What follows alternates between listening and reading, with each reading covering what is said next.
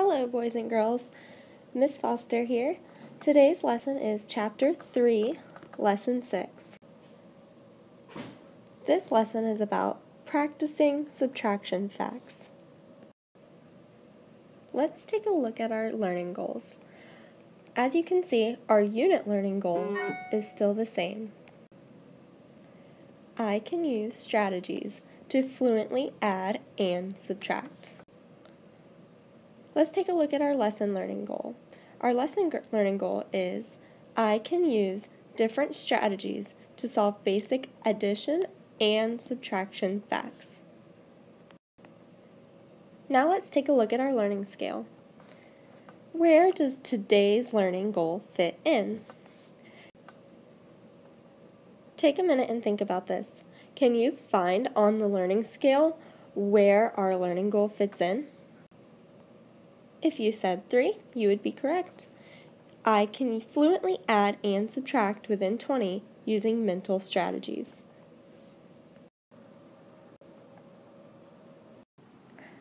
So let's engage. Look at the fact 5 plus 3 equals 8. Do you know the related subtraction fact? Think about this for just a moment.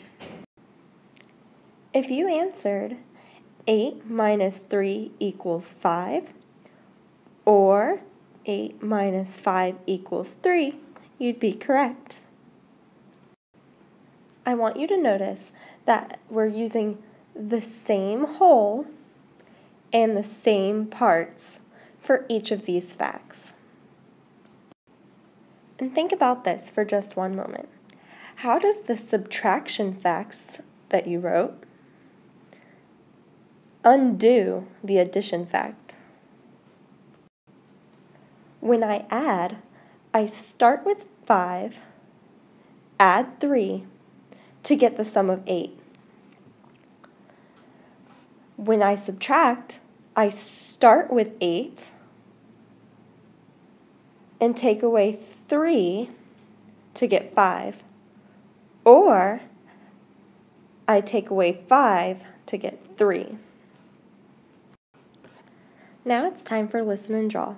You may want to have a sheet of paper and a pencil in front of you, so if you don't have one, go ahead and pause the video and do that now.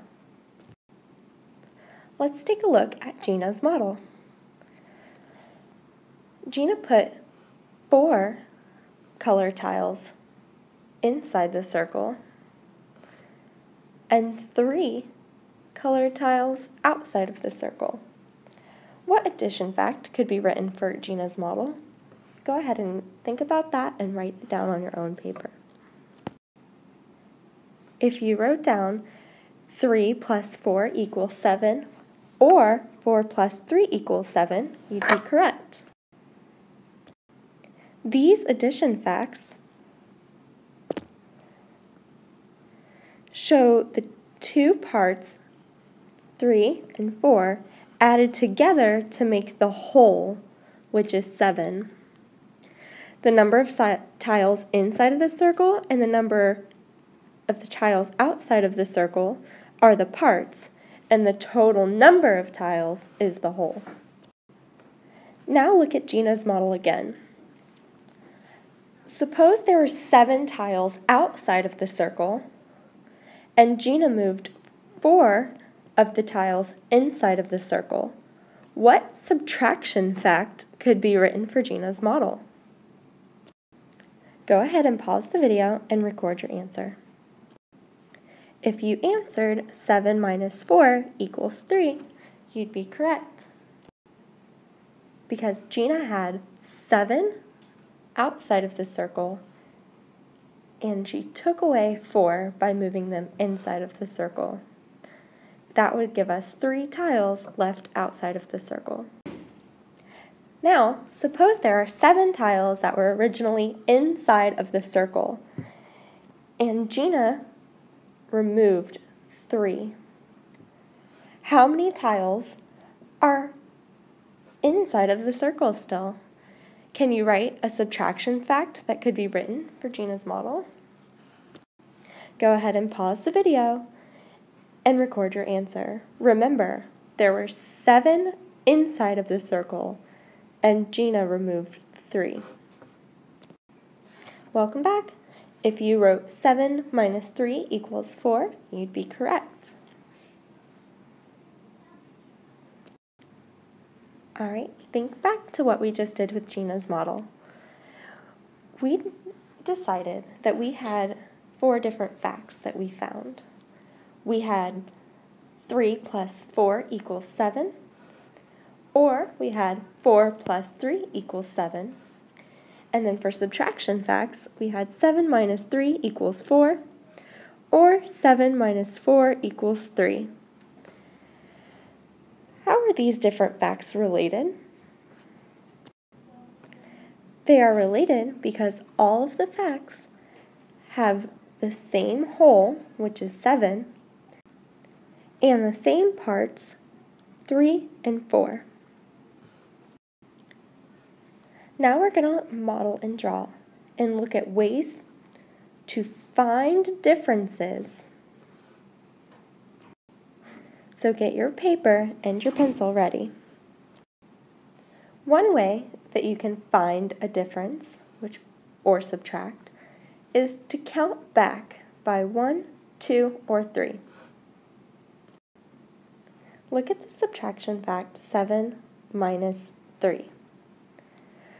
For this, we're going to start with 7 and say 6, 5, 4, and 4 is the answer. Look at the problem 9 minus 3. For this one, we can start with 9 and say 8, 7, 6 to get the answer of 6. Notice that we are counting back three times because we are subtracting by 3. If these numbers were a 2, we would count back two numbers, and it would be 6, 5 to get the answer of 5, or 8, 7 to get the answer of 7. Another strategy that you can use is thinking about a missing addend to subtract. So in my head, I would think 5 plus what equals 8. And we know that 5 plus 3 equals 8. So 3 is the difference between 8 and 5. Another way to think about this problem is to count up from 5 up to 8 to get to 3. So 5, 6, 7, 8, 3. Now it's time to show what you know. Look at number 1. Write the difference for 6 minus 4. If you answered 2, you were correct. There's a couple strategies you can use to think about this. You can count up from 4 to get to 6. So we know 4, 5, 6 gives us 2. Or you can think about what, what number plus 4 equals 6. And we know that 4 plus 2 equals 6. Go ahead and try, pause the video and try number 2. If you answer 3, you're correct. What strategies could you use? There's a couple ways. One is you can count up from 7 to get to 10. So 7, 8, 9, 10. And that gives us 3. Or you can think what number added to 7 can get 10? So 7 plus 3 equals 10. Notice that we did not count backwards because we are not subtracting by 1, 2, or 3. It's easy to count backwards by 1, 2, and 3, and it's also quick. But when we have bigger numbers such as 4 and 7, it's not so quick, and these strategies are a little bit faster. Now it's time for Ticket to Group. Exit this video, click on the next tab in the module, complete the quiz questions, and we'll continue working in class. See you next time.